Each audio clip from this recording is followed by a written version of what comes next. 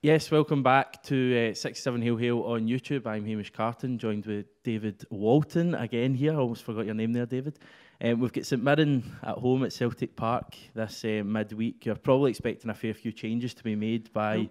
Neil Lennon because you know we've got all these games, we've got more European matches, the cup semis coming up at the weekend. Probably up against a, a team St Mirren have lost their last five away from home in the league as well, so it's a very winnable game. What one player would you want to see starting this week?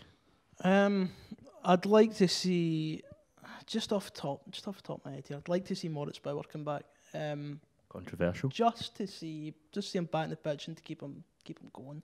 Uh, I think that interestingly over the weekend, uh, Lennon actually said, I think it was after Lazio for Aberdeen that making more than three changes is detrimental to the team. That's that's what his belief is anyway. So even though we would expect a game at home to St Mirren and such a packed schedule to have all these changes. I'd mm-hmm. be surprised if it was any more than three. Um, I'll be controversial then. Can I tell you who I think will start, and you can tell me whether you agree or not? Right, on you go. Bayo.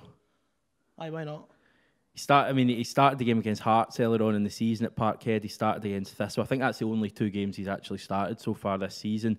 I just think it's a perfect game for him. He's up against, as I say, a team that have lost their last five in the road. He's playing at Celtic Park. I think a lot of folk are, are judging Bayo at the moment, and he's he hasn't looked convincing when he's come on as a substitute the last few weeks. But equally, he's coming on with 20 minutes to go um, and games were either chasing or games have already wrapped up. He came on at, against uh, Aberdeen at the weekend and he came, struggled. He came on at the wrong time though as well because everyone else had put away, you know, their whatever they'd finished the game. The majority of the Celtic team, that everyone, you know, Rogic had one where he should have played a mini shot. James Forrest had the same. So I felt for him a wee bit in that way. He was expected to come on when everyone else had effectively, you know, it was effectively full time in their minds and I'd like to see him start a game at Celtic Park against a, a team like St Mirren where I think he can perform. And he scored. You got to remember he scored against Partick Thistle, and no matter what the Rangers guys will say, he scored against Hearts as well. Two, I would argue. Um, Craig Levein took those ones off him, but he's, he's a player that can score goals if he's given the chances. Now, I want to see him given that chance again on Wednesday night. You make a good point. I mean, in terms of like when he started, he has, very least, got in amongst the goals. You like to say it. Um, he didn't get to at Hearts against Hearts. I did. He, didn't he? I did. Um, but he's been coming on like you're saying. He's been he's been quite unfortunate. I mean, you can't drop Edouard for any big game. You just can't. He's too good. Um, so this game totally reads like a game for Bayo. It really does. Um, home to St Mirren, big cup game at the weekend, which just sounds like a game Edouard will start. Um, I agree with you. I still think he's got something to offer Bayo. Yeah. Uh, he's still a young guy. Man. He's, he's not a dud. He's not. He's not a Bangura. He's not a Amido Balde. He's not a Pavel Brožek. He's better than that.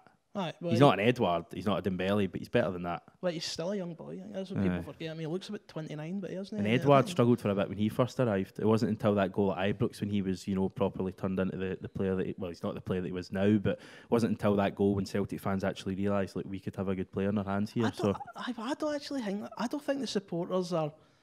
are sort of ruling out by. I think a lot of this has come from some media figures more than anything. I, I think a lot in the support um, still quite happy to see him feature on occasion. It's it's a tough one because much people want to see Bayo, you just can't drop Edouard, mm. and it, he's not going to go two up front. It's not his system. Yeah. Um. So yeah, I'd I'd like to see him against St Mirren, and if he starts, you would be better against him scoring. Any other players you want to see? You, have obviously spoken about Bauer. I'd like to see Shved, but I don't think we will. Um, Came on a couple of weeks ago, didn't he? So he's maybe a wee bit closer than he was before. Aye, but Neil Neil just loves Forrest. And I mean, I, I think um, yeah. he'll play Forrest every single week. He might, he might think Forrest comes under this bracket they put McGregor in, of oh, Forrest is too good mm-hmm. to leave out. Um, so I'd, I'd love to see Shved. I think he's got something to offer.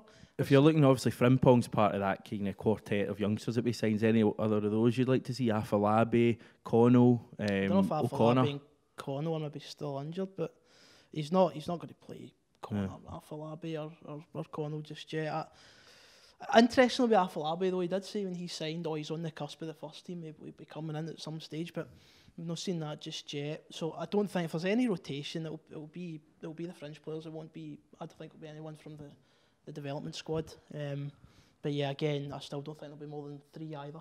Prediction? For St Mirren? I'll not go overboard. 5 0. I'll go for uh, 3 0 to Celtic. And uh, remember, if you want to follow us on YouTube and you haven't subscribed yet, you can do that right now. And also, if you want to hear the views of David or myself, uh, 67hailhail.com.